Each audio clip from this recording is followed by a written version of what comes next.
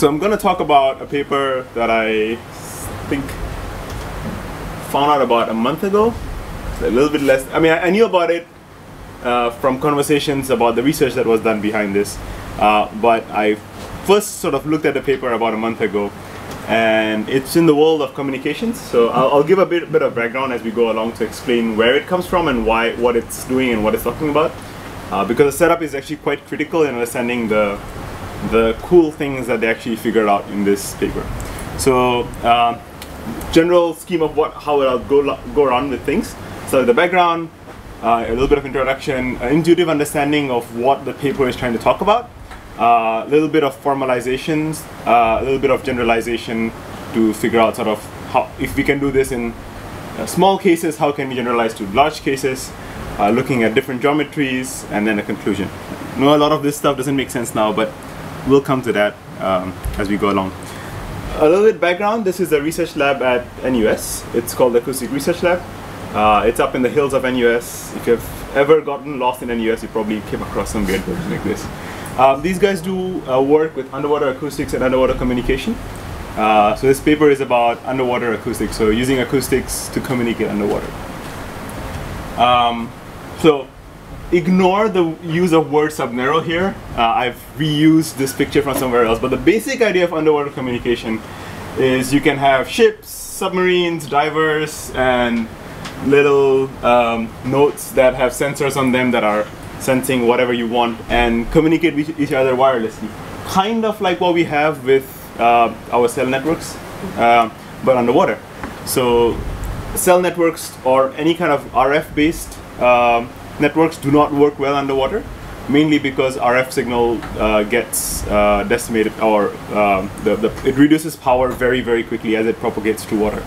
Compared to that, acoustic signals can go for miles or kilometers underwater without much propagation losses. Or they do have propagation losses, but they're not as significant as for RF signals. So that is one of the main ways of communicating or, or sending any kind of information underwater. the other thing that this paper talks a lot about is TDMA, uh, which is time division multiple access. Uh, and I'll try to explain to you quickly here what TDMA does, and as we go along with the paper, we'll sort of come back to what TDMA is, uh, and maybe we'll get a better understanding then. But I'll try it now. So the basic idea is you have two people, uh, one, uh, you know, user one and user two, who want to communicate over the same channel, over the same frequency range. So this is the frequency that you're talking over and you, you have to share the channel. You have to share that frequency that you're communicating communicating over. Uh, and there are multiple ways of sort of dicing this this space up into ways you can communicate. And time time division multiple access is the simplest and the most intuitive. And it basically says the first you know this is a time axis so the first whatever and 10 milliseconds you get to talk. The second 10 milliseconds I get to talk. And the next 10 milliseconds you get to talk next in 10 milliseconds I get to talk. So this, this is a very simple scheme. So this is called a, a frame, which is when everybody gets to do, do it once and then you sort of keep repeating that. So that's, so this is a very, very simple and, and extremely basic scheme. You can get much more complex schemes where people can uh, say that, hey, I want to talk, and then you know you get uh, request to send, clear to send.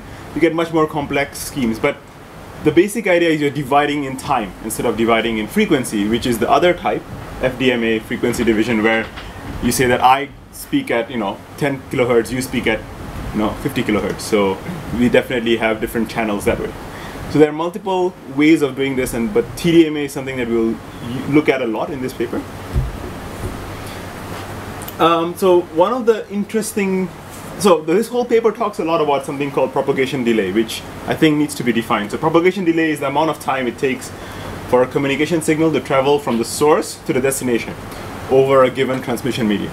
So the interesting thing here is the fact that it's heavily dependent on transmission medium. Um, and that's because we always assume for communication, because that's what we do all the time, that the signals are either electrical you know, voltages in a wire or electromagnetic you know signals over air and both of these uh, in both of these mediums um, signals travel pretty fast um, you're talking close to light speeds uh, but in other mediums uh, where you know for for the kind of distances we're looking at uh, the speed is much much lower, propagation delay becomes something that's super important and super interesting to, to have to work with. So I'll give you um, some numbers. Uh, speed of radio waves in air is whatever that number is, basically ver very very close to light speed. Um, speed of sound in air is 343 meters per second, which is fast but not pretty fast. Speed of sound in wave, uh, speed of sound waves in water is five times that, about 1,500 meters per second. Depends on salinity of water and a bunch of other things, but still much, much, much, much slower than this. So that means that if you have two things in water and they are communicating with each other with an acoustic signal which travels at this, if they're two kilometers apart, it's going to take 1.3 seconds for something that you emit from here to reach there. And 1.3 seconds for something that you, you emit from there to reach back. So imagine if you have something like a TCP, where you're sending something and you're waiting for an ACK, that ACK is going to take 2.6 seconds. So you're going to have a lot of weird um, problems because of this at different layers of your network stack. So you're talking about TCP protocols, you're going to have to deal with much longer delays, much longer timeouts. You're talking about medium access control. Everybody needs to take ownership of the medium for a much longer time. So all the stuff that we have developed in your in your normal sort of TCP IP stacks, uh, at, in, either in sort of wired or wireless networks, needs to change because all the schemes that we came up were assuming you are almost zero signal transmission time or propagation delay. But that's not the case anymore. So here's a interesting issue what happens. So a sender is trying to send a packet, um, which is taking some time, goes over, and then wait for the, the receiver to send an ACK back and go on. And, and you see like all this time is completely wasted. You're just waiting for, for things to happen and nothing's actually going on. And this is very, very um, inefficient.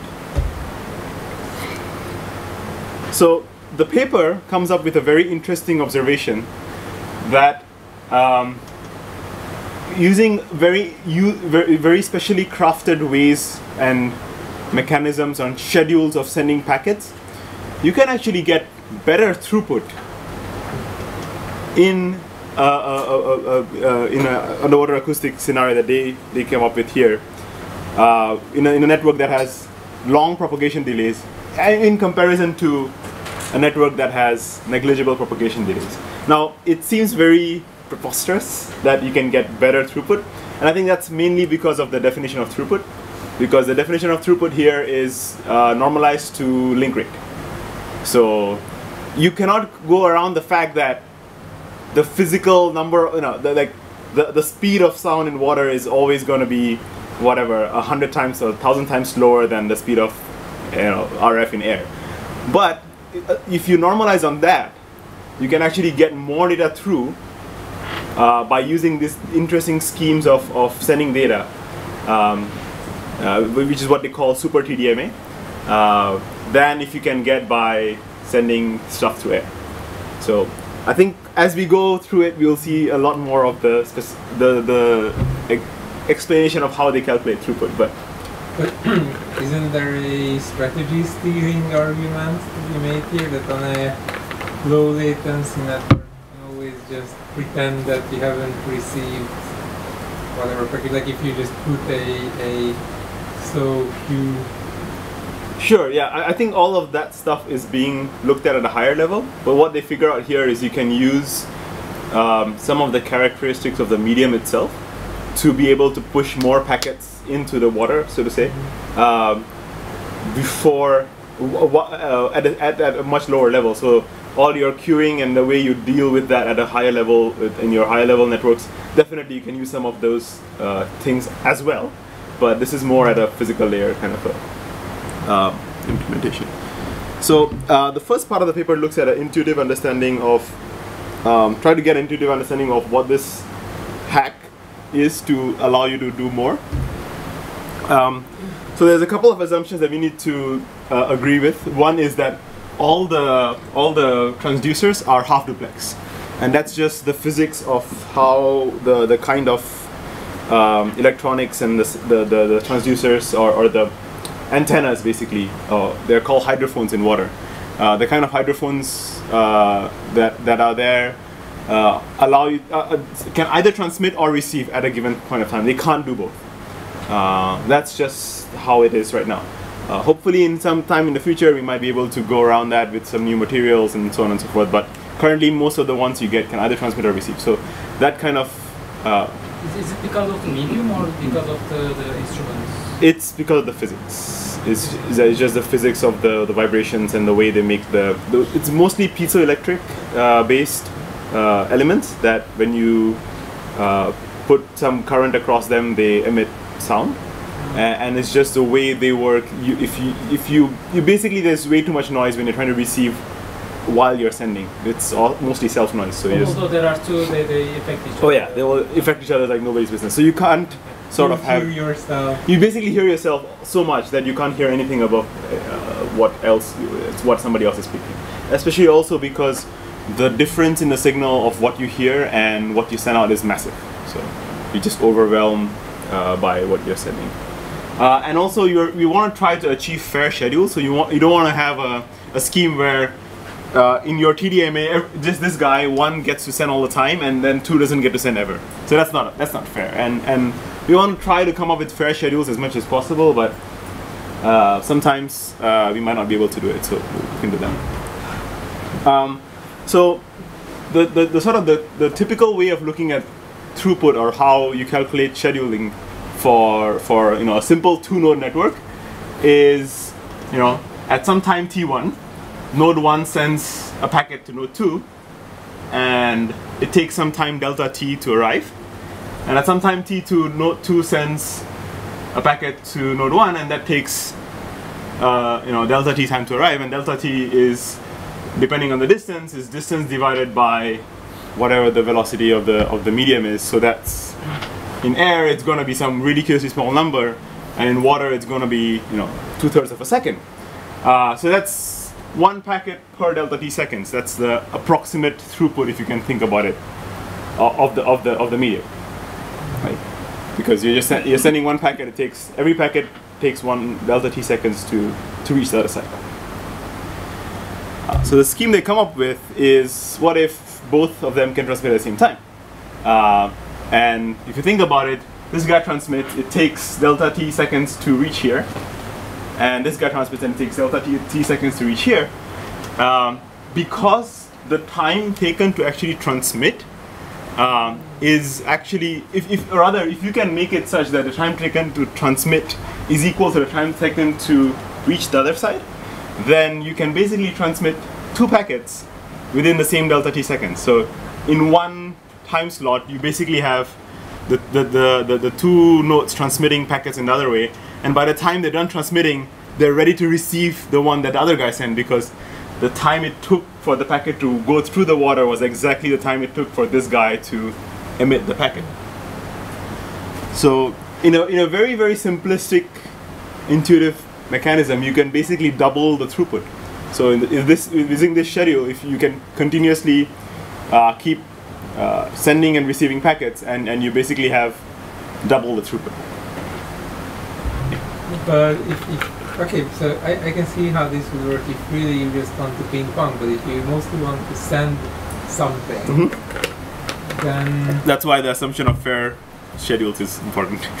so it, it, does uh, uh, it does make better sense for uh, in, a, in an assumption that we want to have as much fair like everybody wants to communicate with everybody else. But if you have links that are that want to need to communicate more than other links or in more one direction than the other, uh, then some of the stuff or rather some of the optimizations that end up at the end of this paper might not hold up. I think. But I think that's a good point.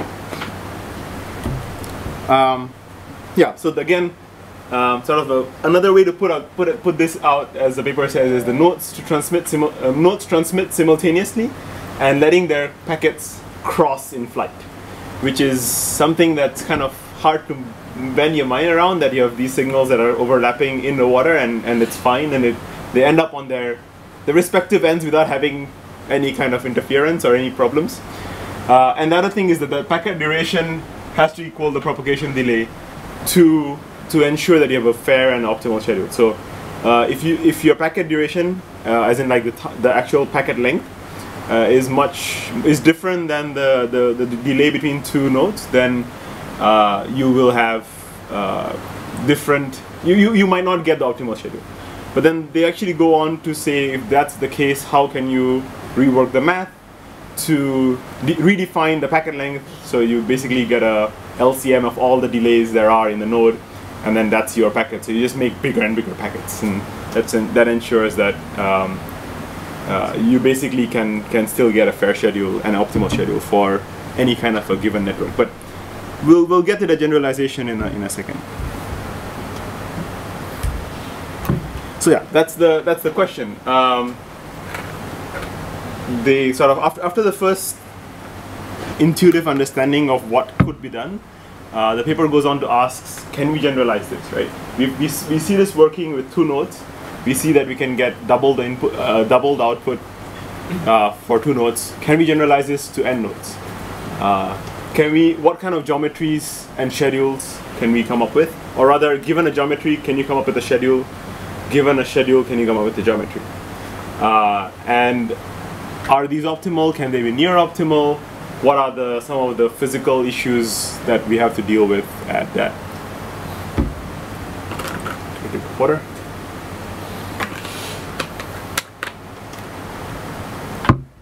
So to define that, um, define a system to be able to solve for the generalization questions.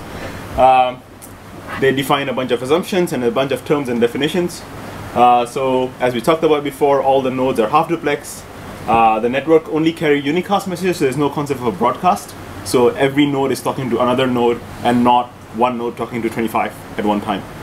Um, the messages transmitted by a node reaches every other node, so that's an assumption that as long as you are in a single network, and that's how they define network, everybody can hear you.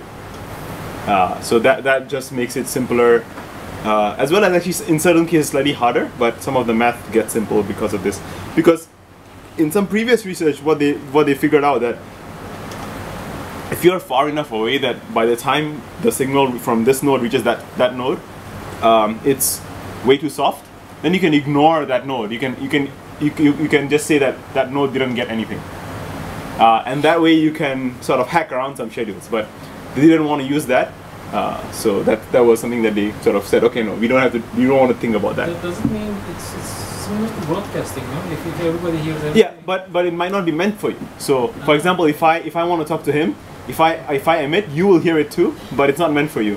But the point is, if if you might not hear it because you're too far, I might be able to do more optimizations, because then I can transmit something to you while you are receiving something from him, but you won't hear from me, but you might hear from him because it's nearer. So the channel is free for us.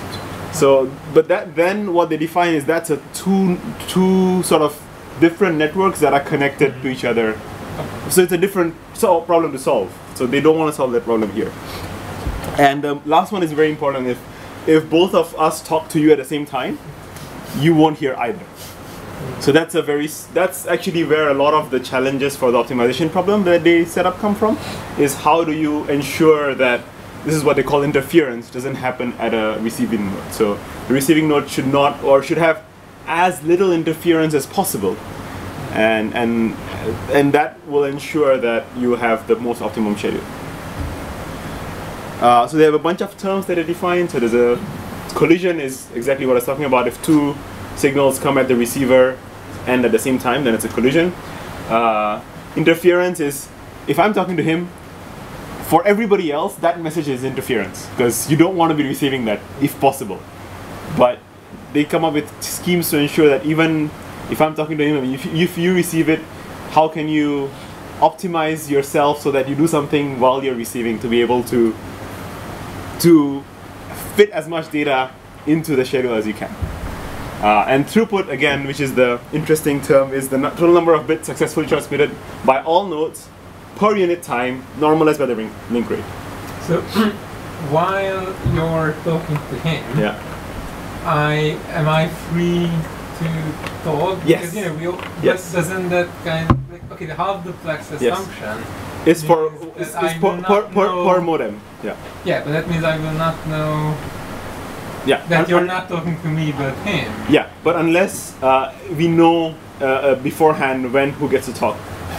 Right. also to whom? Yes. Ah, okay, yes. I yes. see, yes. see. So if that schedule of saying that at the first time slot I get to talk to you, Mm-hmm. at the second time slot you get no at, at the first time slot while I'm talking to you, uh, it, it takes one time slot for me to reach both of you, and when you're when he's receiving, you can then transmit at the same time. We'll we'll, we'll get to that. There's a nice diagram that can do much better job than me at, at that. But yes, that's the thing. It's it's half duplex means I can uh, talk uh, but uh, at one time, but I can't receive at the same time. That's the only thing.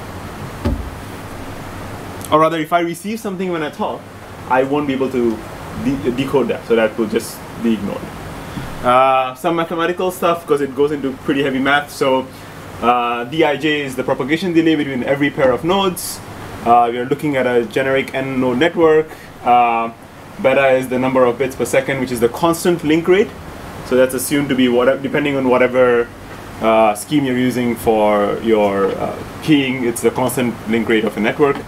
Um, so the information carried by the link, by a link in, in milliseconds is, is beta u. So that's just some math that starts getting into uh, a little bit more interesting as we go along. So And you don't make so you don't make any assumptions about D. So it's, it doesn't have to be like metric space. At yeah, we're getting there. That's why it's IJ. So we're getting into a, a, a, a delay metrics. Okay. Uh, you're talking about like matrices, right? Or No, I mean, the, does it need? Okay, do you use the fact that like if it's really in the ocean, Right. right? It's it's a metric space. It's a normal space, right? It's not just any matrix. Uh, yes, yes, yes, yes, yes, yes. So that's used, but I don't. you have the triangle inequality. You have yeah, yeah, yeah. They, they, they do talk about that, although I didn't take most most of that in my slides because the paper is quite big. It's about 14 pages. So if you want to look at that, there they, they do treat that and use some of that stuff, but I didn't pick it up for the slides because I didn't want. It was I, I was trying to figure out what I can talk about within this time and some of the stuff that I can ignore and or, or leave it to homework. Uh, so the next part is trying to go from a two node network to a three and see what we can do with the three node network. Uh, so simple again, uh, just an equilateral triangle again. For making it easy for intuitive understanding, you're just ensuring it's equilateral. So the time delay for each of the three between each of the three networks is exactly the same. Uh, and of course, because of the thing we were using, we also assume that a is the time taken for the packet. So it's the length of the packet as well. Playtime uh, stable? Is it always the same? Uh, it is not completely stable, but it is pseudo stable. So you can you can run some adapt- adaptive control, control algorithms to guess it and track it over time. So it's uh, stable enough to be able to um, to be able to assume for you know mathematical purposes that it's stable.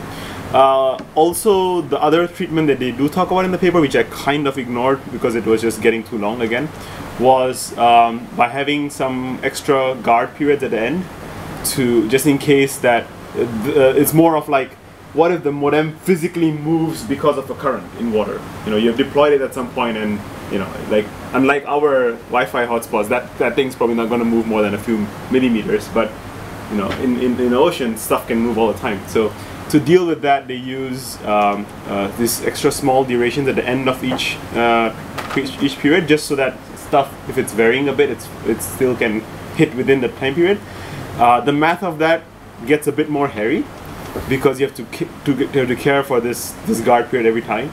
But the general theorems still fall down and the and the, the the upper bound theorem still ends up being uh, very very close to the upper bound that they talk about. So it's not that far off for the sort of physical manifestations of uh, some of these theories um, so they, they, they, they, come up with a schedule um, that explains how we can do something similar in, in a three node network. So node 1, let, us ignore this, let's start from here. Uh, node 1 at time 0 transmits to node 2. So node 1 transmits to node 2.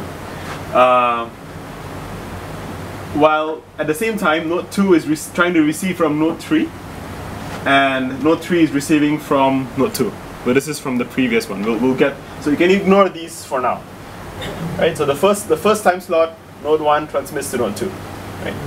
The next time slot, of course, node two has to receive from node one, right? Because you just transmitted, takes one time slot to to actually propagate over. So the next time slot, node two has to receive from node one. So remember, the main thing is that transmission and rec- reception take time.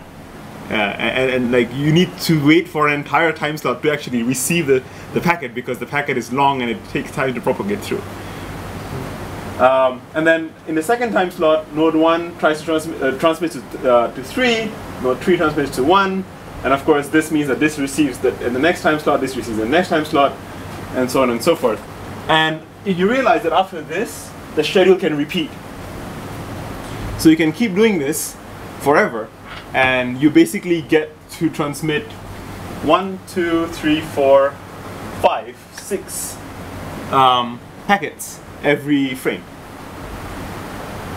Uh, so, But uh, isn't there interference? Interference? so, so the interesting thing is, so when this guy is transmitting, this guy is receiving, this guy gets interference, but it doesn't care because it transmits at the same time. Right? It's, it's so at, at this point, node Ah, 3 okay. does receive from node 1, but instead of bothering to just receive, it just says, screw this shit, I'm just going to transmit. Okay, no, but uh, but the other one, one and three is, is, is hearing the same thing, right? Yeah, so, two- so two when, T when, when, when, node, when node 1 transmits here, 2 and 3 receive the same at the same time. So both of them get the signal. This guy actually receives, this guy ignores and transmits. Okay. So that's a very No, but, but yeah, yeah, go, get to the next one. next yeah. one, the, the two T between two T and three T. The next one. This one? Two T. Yeah. So one and three are. are So here. thi- thi- thi- this is transmitting, so this receives. Yes. Also the three. Uh, the, the, And then this is transmitting, so this receives. Yes. Yeah, so that's what. Ah. So it's crossing Okay. and forward. This is the crossing. Same as the first. Uh, So you, you, won't, you won't hear yourself. Far from- You won't hear yourself though. Okay. Because it's already gone out, right? It's projecting outwards. Ah, okay. That's nice. Um, but so the basic, if you think about it, the basic idea is when you are hitting interference, just transmit. Right? that's that's the very very simple thing. The second you think that you know that according to schedule you're going to get interference, just transmit. And that's a very interesting uh, heuristic that we will see come back later again uh, when they try to solve the optimization problem and they realize that it's too com- too complex. So let's try to reduce the optimization problem. And this is one of the uh, heuristic they use to reduce the complexity of the problem. So that's the very simple thing. If you have two, if you have interference, just transmit. Just ignore and just transmit. You can also see here that it's two times m minus one is gonna be a upper bound. I Yes. mean a lower bound on the frame side. Mm-hmm. Yeah, we'll come to that. Um, so analysis. Um, the schedule ensures that interference from other nodes only arrives when the node is transmitting, right? So this is the this is the the main magical secret in this entire paper. Um, of course, you ensure that the the transmit message duration is the same as the the packet length, um, and the nodes can su- successfully transmit six messages with uh, beta u bits e- every t seconds. So the, the way they calculate the throughput, which is the number of bits um, normalized to the link rate, is 1.5. So that's their definition of, of, of throughput. Um, and it's 50% higher than the maximum throughput of a three-node network without propagation delay. So if you if you calculate again throughput normalized to link rate in a normal network where you're just transmitting on a three-node network, the maximum theoretical throughput you would ever get is is one. Uh, that's basically everybody transmitting at the same time. But because of this ability to trans- transmit while still something else is in water, you can get a little bit more. We are using water as the buffer. Basically, that's that's that's what the paper talks about. You're using the water as a buffer to to sort of hold stuff for you while you are still doing something else. Uh, so the question is, how much can you how much how much crazier can you go, right? So initially, like if you if you look at um, TDMA like uh, wi- Wi-Fi TDMA papers, uh, reaching one throughput of normalized throughput of one is like the, the holy grail. Yes. Like if you can reach anywhere close to one, you are like it's awesome. but now we beat one.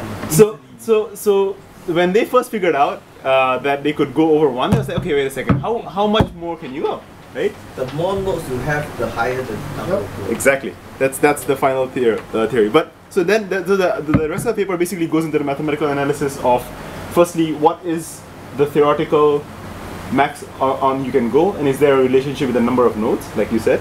And then the, the more interesting question, which is, given a, a, a- geometry, can you come up with a schedule which is optimal, which hits this thing? I mean, th- this is just one schedule. You can come up with all sorts of schedules which will go everywhere from no packets being ever transmitted because everything just interfered all the time, to you know 1.5 uh, throughput of 1.5. So figuring out a schedule on a for a given geometry is something that that's interesting, and the mathematical proof for that is what the paper talks about.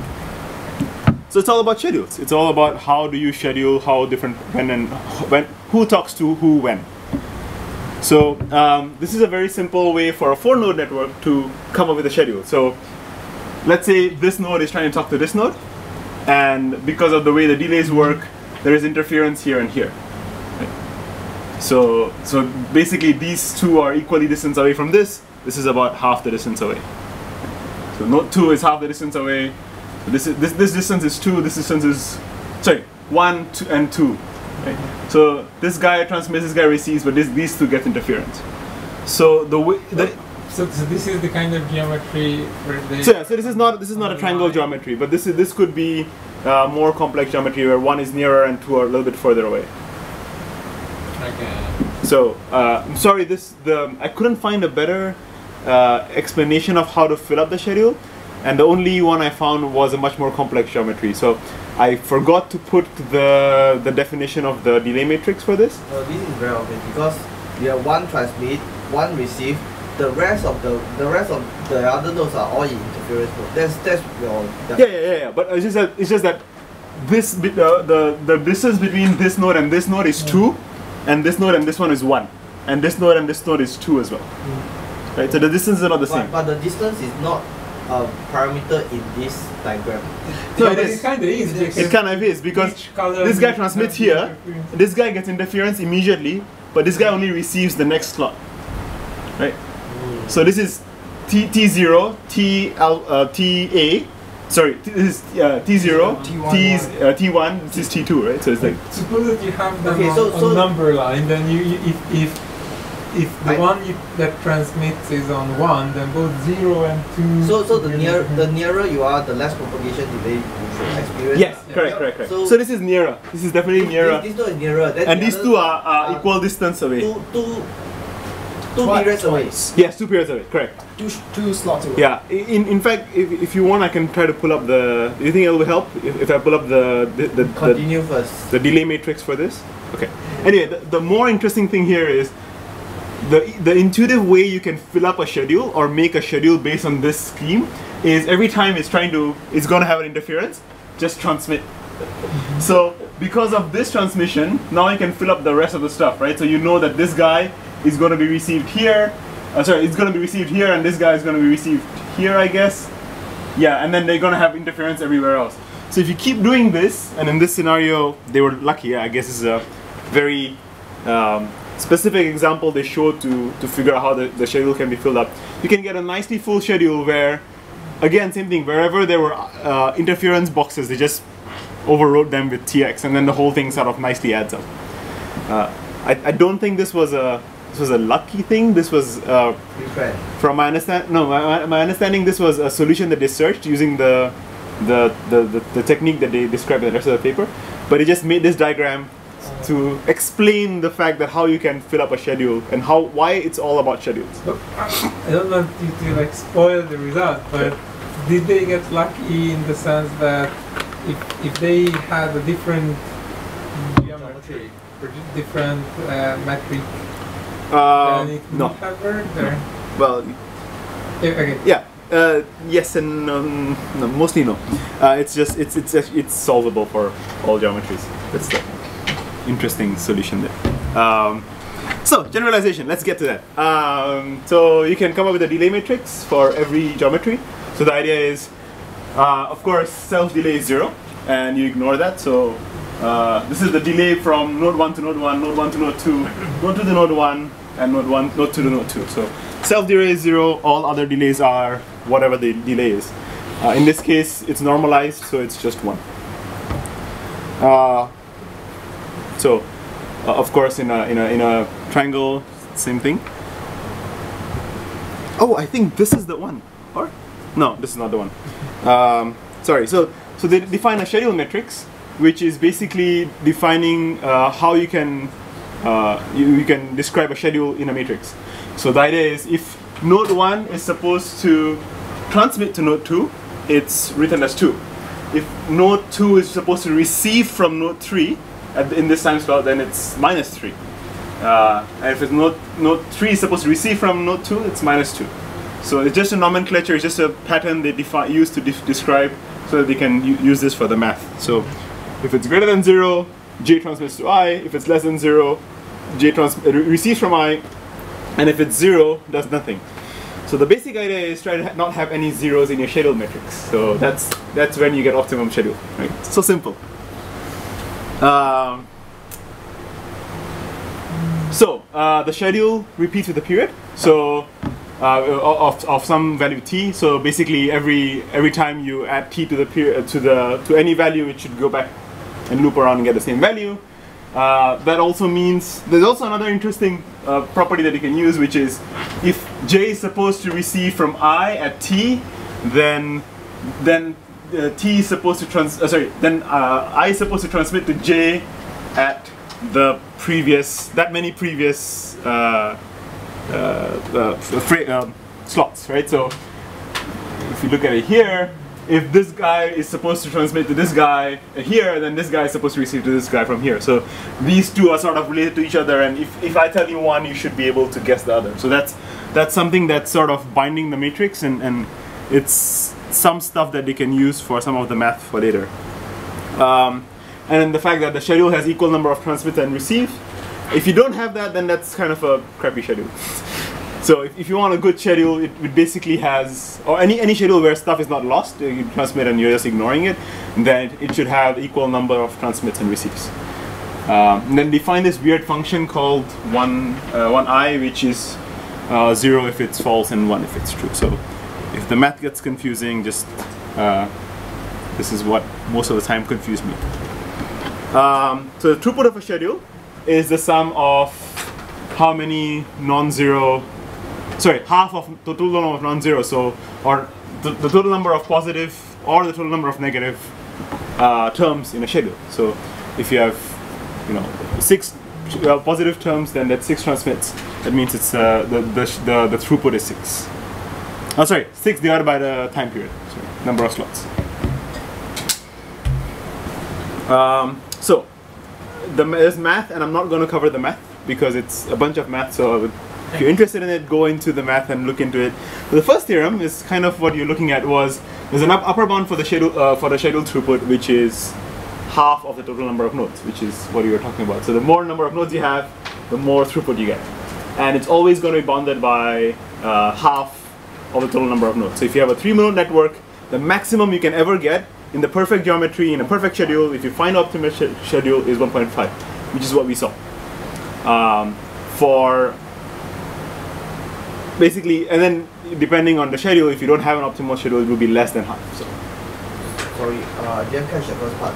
All the period must be of a constant, is it? Or you can have period. So what they do is they they uh, they do they basically figure out how you can have um, you can yeah basically you can do a LCM of all the periods and then get a, a, a packet length which is much bigger so that everything is integer multiple of each other.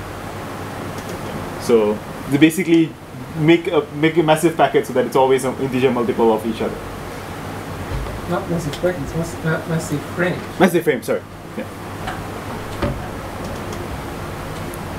Um, so we talked about earlier. Uh, perfect schedules are when there's no zero entries, uh, and a perfect schedule will achieve the n by two upper bound. So this is just simple math. Um, so they also talk about in some cases there are the uh, perfect schedules cannot exist, uh, and that's ma- mainly if you have uh, odd number of nodes with odd number of uh, with an odd period. So if you have odd number of nodes, your period needs to be of even number of packets.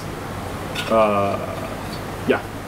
So otherwise, they, they don't exist. Again, bunch of math, um, but you can you can look into it, and then you kind of came to that, which was that uh, n times c minus one divided by two t, which is the uh, no that's the next theorem. We'll come to the one that you came up with earlier, uh, which is the, the frame length. Um, and the corollary to 2 is that for a network with odd number of nodes, a periodic schedule, an odd number of period t, the upper bound is nt minus 1 divided by 2t. So you can look into the math, but it gets a bit hairy. And yeah, the fair schedules, if, for n uh, node network, a periodic per link fair schedule can only exist for a period t equals 2k n minus 1. So it's always going to be K, K is uh, a- any positive integer. So basically, uh, uh, but the main main thing to think about this is they, they define this as a per link fair schedule. Uh, so it's not a per node fair schedule. So per link fair is between two links, whereas per node share is for per per node everybody should be able to uh, send and receive equally to everybody else. So a per node share uh, fair schedule will be able to uh, talk to every every other person fairly, whereas a per link fair schedule means every link Is- is is has equal amount of uh, traffic on it. So slightly different. This is the one thing that I had to reread the paper a couple of times to to figure out uh, what they were trying to do because I misinterpreted these two terms. If you're reading it, just keep an eye on the per link fairness and per node fairness. very common. Yeah, I can imagine it's a very common problem for noobs in, in this comms field. Um, and perfect schedules do not exist for um, linear no- uh, geometries. Uh, so linear geometries have a lot of weird issues because uh, of the way the the distances add up. Basically, you, you the, the first person gets something and the next person gets something. So some of the hacks that you know they did earlier with the, the scheduling won't work for a linear schedule, and there's a mathematical proof to why that won't work.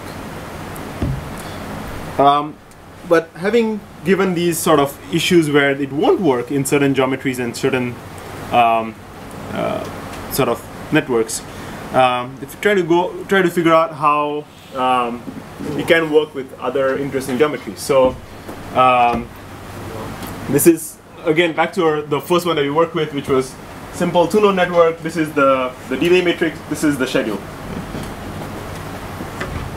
Um, three-node one. So this is the schedule we looked at earlier as well. Uh, so this is I didn't find a diagram for this. It's an isosceles triangle. So the first node is is two, uh, one uh, distance away, and the, second node is two. So it's a it's an isosceles triangle. So um, it's a much bigger frame, uh, which you talked about earlier. So you have to get a bigger frame, but it, it again it's a it's a schedule that works out, and once again you get uh, three over two, so 1.5. So it's an optimum schedule. Equilateral. Uh, equilateral is the first one. This is one we did, the, the common one. So isosceles is this. Uh, they go on to a couple more. I they, they go on to a tetrahedron as one, one as well by. So, which means that this network applies to 3D space. Yeah, Yeah. yeah. Be- Because just Yes. now I was thinking in, Yes. the, in the sea, uh, you can actually play around in, in with Yes, 3D. I have a tetrahedron. Yeah, there you go. Yes. But that also kind of answers my question. So you really do use the fact that it's a geometry. and Oh, yeah, yeah, it's that way. Okay, a like a- it's not just a metric space. It's a full. Yes, yes, yes, that way. Yes, yes, and yes, you actually, interestingly enough, get a. This is a weird one. So you actually get a, a, a throughput of two, but if you notice, um, two talks to one and one talks to two, uh, and that's it. And then three talks to four and four talks to three. So one and two don't talk to three and four, and, and, and three and four don't talk to one and two. They're two separate. So it's almost like you're you're having two separate networks, but at any given point you can swap any two. Yeah. Yeah, yeah. yeah. and then you can keep going, right? Because it's it's it's only it's sort of you know so, yeah. So, but that means your your actual frame would be double this size, right? yeah would you can you can go double the size if you want and then get that so so you there's a trade-off but but that's uh, a tetrahedron and and again this was the one that you that I said was because this is this doesn't seem to be fair per node but they define this as per link fair Or link fair. this is still per link fair but it's not per node fair Yes. That, that minus one should be one. right? Second line. yeah that's a typo that's me And also in the first column, I mean, Ah. Yeah, the four two minus. I guess it should be This is- this is wrong, yeah. Four minus three, and then minus four plus three. yeah there should be Cross, uh, Yeah, they should be crossed. Agreed. My fault. didn't re- didn't copy it properly. Um, so moving on to a more so again this was a more intuitive understanding of of how much further you can go. Let's try to go even further. So basically they define uh, it as an optimization problem. Uh, and they call it a sequential decision problem. I'm not an expert in, or I have no idea about dynamic programming or optimization in general, but I tried to guess and understand how much as I could in this paper. Um, the, the resulting solution is optimal, but the, co- it's computationally infeasible. Um, they also propose a, a, some of some sort of heuristic improvements to the optimization problem to reduce the complex, uh, computational complexity. Um, so um, I will go through some of the formulation of the sequential decision problem and some of the interesting parts, but I won't go through some of the more hardcore math. Um, but basically, they model the whole thing as uh, a transition. So every uh, every step, you know, when we saw those three diagrams with the three um, uh, schedules, like unfilled schedule, and you start filling up the schedule and you go along. So each step is a is a is a, is a decision that you take. Uh, and that's the sequential decision. So you decide which part of the schedule to fill up. Some sometimes your hands are forced because if you put a transmission a transmission here, you know it's going to be interference here, and you know it's going to be a, a reception here. But other parts you are open to figuring out whether you want to add a, a, transmission here or not. And that's the basic. That's the, the thing that you actually optimize against. Uh, that, right, that, that's the thing you optimize, and you optimize it against a, reward function, which I think they Am I define it here? No, I'll, I'll, oh yeah, they, they define it against a reward function, which is uh, this, which is a total number of um, transmissions, basically, right? So you want to optimize to have as many transmissions as possible, um, and the throughput is always going to be the, the as t tends to infinity, the one over t, the the reward for that, uh, the, the the summation of the, all the reward functions. Did I miss something here? Yeah, so Q, QT is the partial schedule at any given time t. So that's the sort of state snapshot of uh, as you're transitioning between uh, through the decision problem. Yeah, so to actually solve it by dynamic programming, you need to define something called the value function.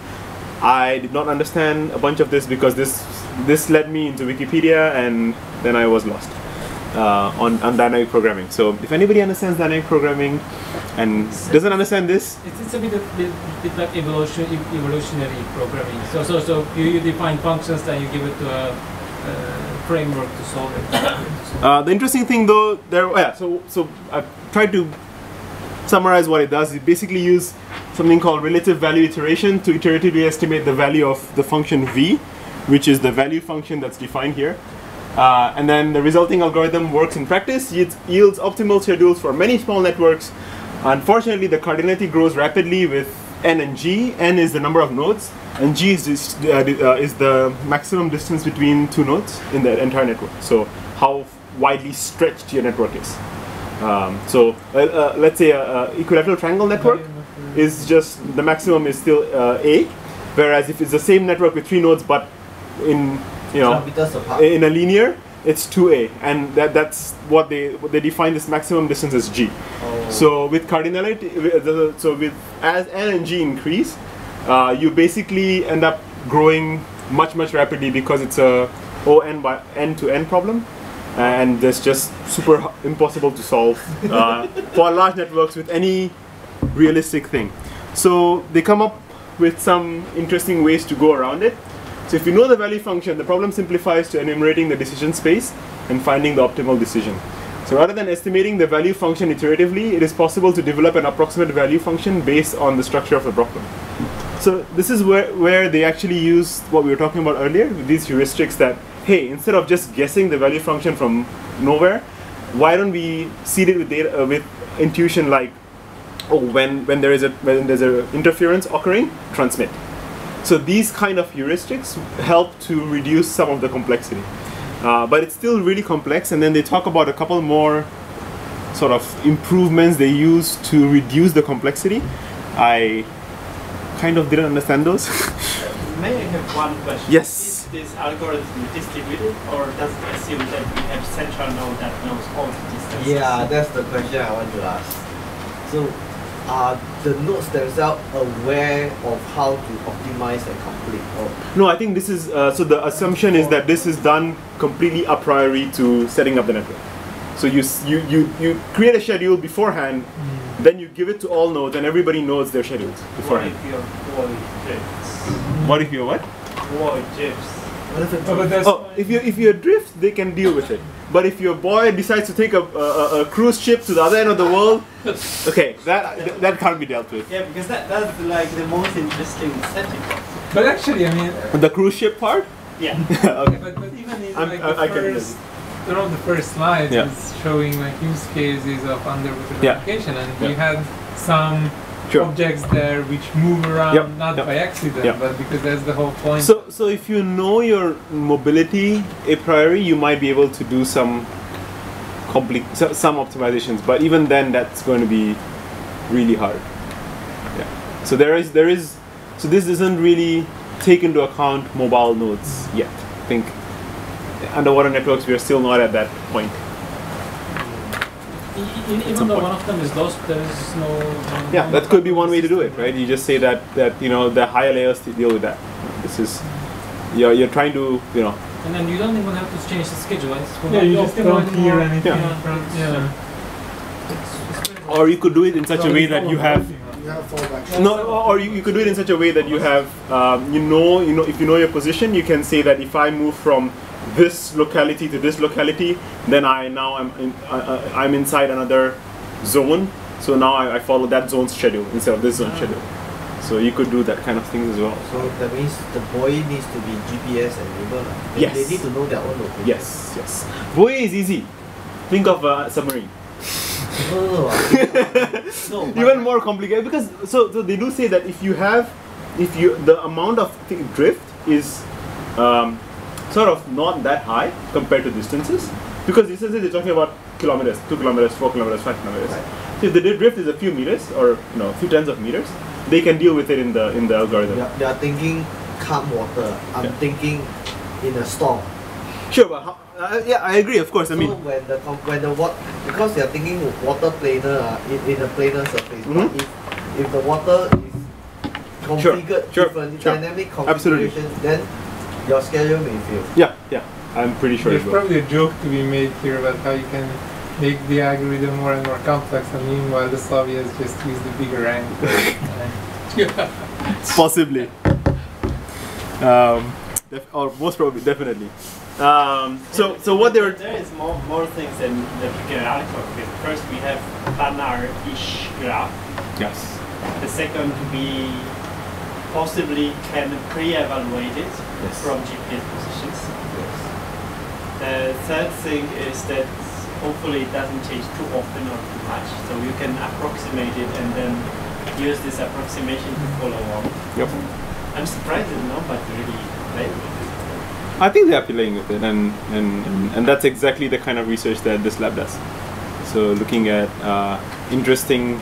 Oh, so I mean, you're, talk- you're talking about physical experiments. Oh yeah, they they definitely do that once a year at least. They go out into the sea, launch all these buoys. Way, way more fun is when they when they put down their uh, the submarines in the water, the robotic submarines, and then you move around and you see where you're receiving. Because, actually, if the propagation delay is so important, uh, especially in the air, if you have an air network, then I assume that moving object very differently, Yes, just because of Doppler effect. yes, yes. What do we do with this? Yes. Yes. So this is at a at a MAC level, a TDMA, ma- you know, media access control, pro, uh, medium access control protocol sort of level. But uh, at a at a lower level, you need to deal with Doppler in much more interesting ways here because if you're doing, let's say, you know, some kind of frequency shift keying, with Doppler, your frequency is going to shift. So that's the kind of stuff you need to deal with a lot. Uh, because it's so it's so close to your, your speed of sound in water. Um, so Oh, but Yeah. I just now realized something. So, so, I mean, not, but in general, Mhm. so this scheme presupposes that you don't need to hear anything to be able to transmit. yes, So, like two whales couldn't tell a knock-knock joke to each other using this protocol, right? yes, That's like a pretty big assumption. Well, uh, you you. What do you mean? In the sense that uh, if everybody has a schedule, it just depends on when you start, right? So you can start at any any given point of time in the in the frame, right? No, but okay, like suppose you okay, so, like, is it- suppose you have two Right, players okay. and they want to tell a knock knock joke Right. to each other, right? So they So you, when you're saying that you can't arbitrarily decide when you want to start transmitting. no, no, no. What I mean is, like, if I say knock knock, Yeah. you know, you will have to ask Yeah, who is it, yeah. but you don't know that you want to ask who is it until you've heard that I said knock knock. So you can't, you know, tell me who is it while I'm saying knock knock because you haven't received yet. Right. that- Yes. But that's that's an issue with propagation itself, right? I can't I can't. That's like causality, right? No, no, no. He's, he's thinking in terms of a node fairness. Okay. This one is thinking in terms of the link fairness. So you can knock knock until you re, until you reply, you just keep knock, knock knocking until the other person say knock knock.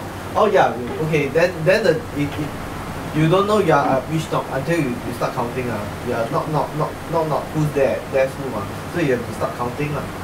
Is that no? I'm. I'm No, but Wait, wait, wait. If you say knock knock now, he only can reply who's there when it's his turn to transmit to you again, right? Yeah.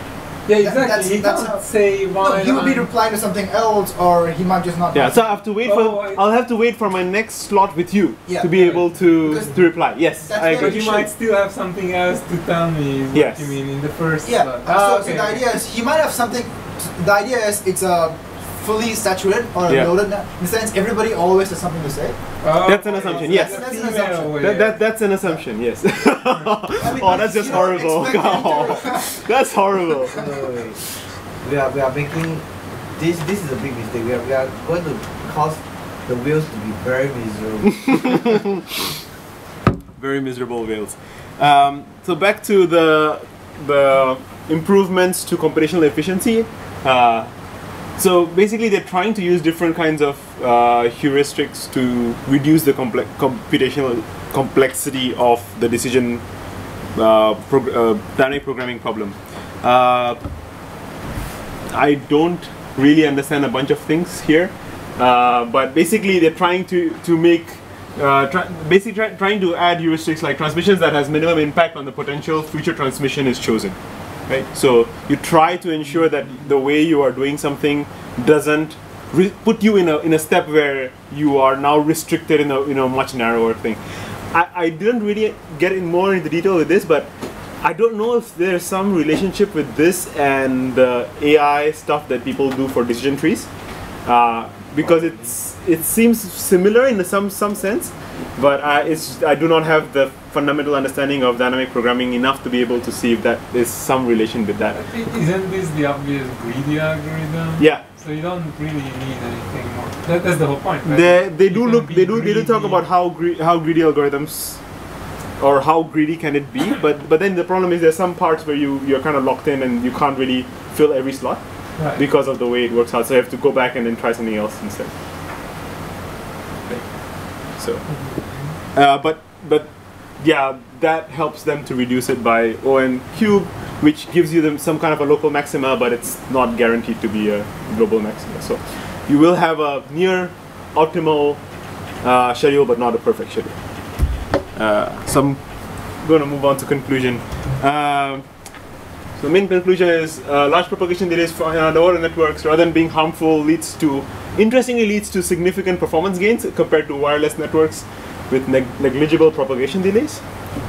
Um, making interfering packets overlap in time at unintended nodes and leaving desired packets to interfere interference free at intended nodes is what you're trying to basically do.